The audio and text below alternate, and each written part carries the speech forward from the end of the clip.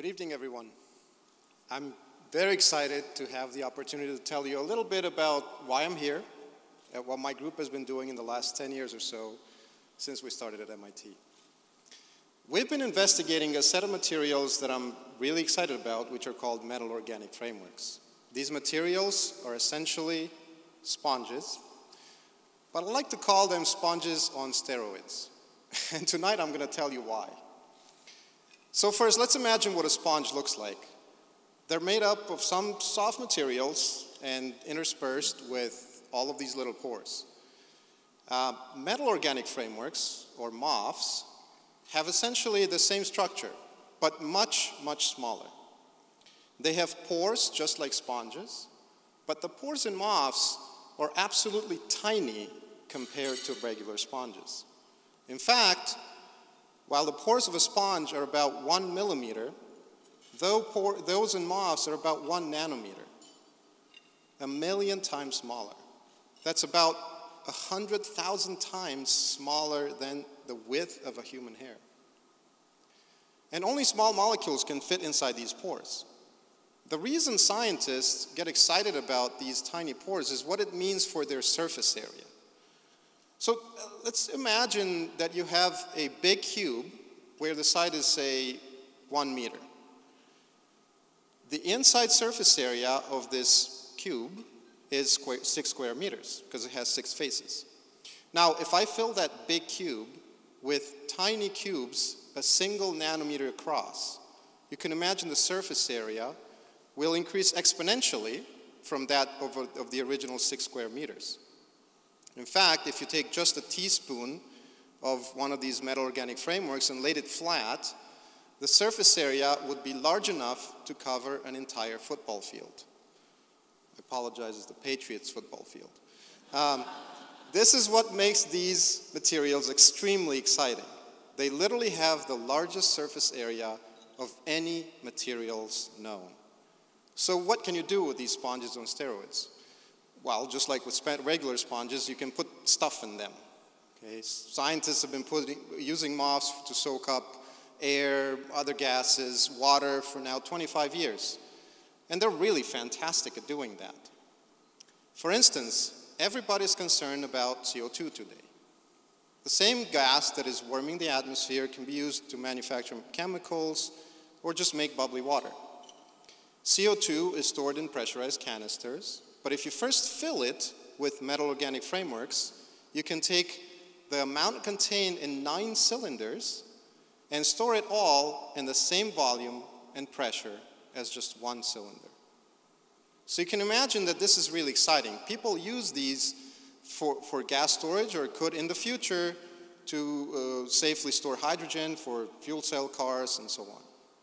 Now, storing gases and liquids is great, but when I went to MIT, I wanted to explore something new, something else that uh, could be possible with metal organic frameworks. At that point, every MOF that had been created had been an electrical insulator, like ceramics or plastics. This means that if you were really adventurous and you wanted to plug in a lamp with a MOF cord, okay, um, it wouldn't light up. No electricity would flow because they're insulated. Makes sense. They're just filled with empty space.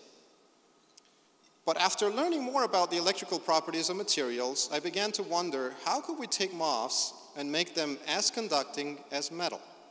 Could we take a MOF cord and make it behave like a metal such that it would light up the lamp? To do this, we had to think about exactly how MOFs are put together. So you can think of them as being put together of these little molecule segments where the heads of the segments are the metal, and then you have the organic linker, similar to plastics, between the metal groups, hence the name metal organic framework. Now we can put these segments together however we like. We can make one-dimensional chains, two-dimensional sheets, or even three-dimensional frameworks, or our sponges filled with tiny pores. Now, how exactly you connect these segments together is important because it determines the stability and, most importantly, how conductive the material is. So let's think about how to make MOFs conducting by looking at these individual molecules. For electricity to flow, we need charges. here negatively charged electrons to be able to move freely through the molecule. Now we can get charges in the metal and even in the organic strand, but they get stuck at the junction between the metal and the linker. So this junction is called a functional group. When I started my research lab, I wanted to find a way to clear this roadblock, which would make these super sponges electrically conductive. You might ask why? And my first answer is that it's just cool. How do you think about electricity, transporting electricity through materials that are mostly nothingness? The material, the percent filled space in one of these materials is literally less than 50%. So it's more so nothingness than it is matter. Now, there are certainly exciting applications for conductive MOFs, which I'll get to, but it started really as an intellectual pursuit of how to make empty space conduct electricity. So to do this, our group went and dug through the literature to find a functional group that could conduct those charges. What we found led us to create this molecule, which when repeated over and over cre uh, again, creates a MOF sheet. This molecule has all the components, components we need, a metal, an organic linker, and most importantly, a functional group that can now conduct electricity. When we stack these sheets, we can get our spawn structure, except now we can get electricity to flow through it. I really couldn't believe it when my students first showed me the data. We'd taken that porous structure and we were able to conduct electricity through it. We essentially took the properties we wanted from insulators and conductors and made a whole new kind of material. That was really exciting and it opened up a whole bunch of new possible applications for us. The one I'll tell you briefly about is electrical energy storage. This is nothing new to anyone in this room. You all know about batteries. You all know you all carry a battery right now, probably in your pocket or handbag. Batteries are great. They can store a lot of energy, but the problem is that they charge and discharge really slowly, which makes them difficult to use in certain applications like powering cars. There's actually another device that can store energy. It's called a supercapacitor, which delivers charge in a very similar way, but can charge and discharge much more quickly. The downside to supercapacitors is that they can't store as much charge as batteries, so with a supercapacitor powered car, you could charge it really fast, but you couldn't get very far. Now, one way to improve both batteries and supercapacitors is to increase their internal surface area. The more surface area, the more energy you can store. Now that we have conducting MOFs, we can use their huge surface area on these devices. Putting MOFs in batteries, something we've done, can greatly increase their capacity, but this still doesn't solve the problem of slow charging and discharging. However, by putting MOFs in supercapacitors, you can keep the fast charging and discharging, but now store a ton more energy. So if we can make this supercapacitor, it might be able to store enough energy to power everyday devices. But this is all theoretical. So we set out to test this idea, whether MOFs could make good supercapacitors. So we built one. And long story short, these things work really well. The best way to show it is by demonstration. Here we made a simple device out of components just from Radio Shack, when it existed, uh, with the supercapacitor on top. My student is going to crank this shaft just to show you the light works on its own. And now that he's cranking it, he's also going to charge the supercap. So with each turn, he's building up the charge stored in the supercap to eventually power the light bulb on its own. When he lets the crank go, the light bulb is still going, as you can see, which means the energy is being supplied only from the charges that are being stored inside the MOF itself.